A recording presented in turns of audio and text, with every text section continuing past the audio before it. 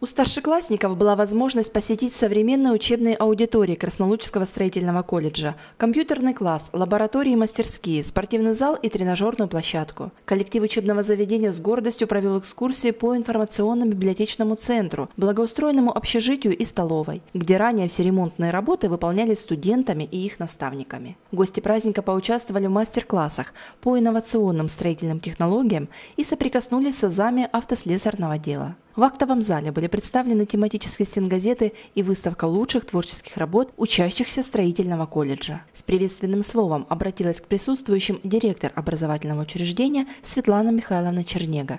Она рассказала об истории и традициях строительного колледжа как одного из старейших учебных заведений системы среднего профессионального образования нашего города, о профессиях и правилах приема на обучение.